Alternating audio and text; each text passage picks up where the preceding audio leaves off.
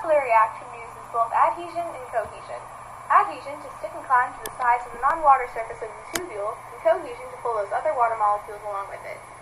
Water molecules are stuck together through a hydrogen bond.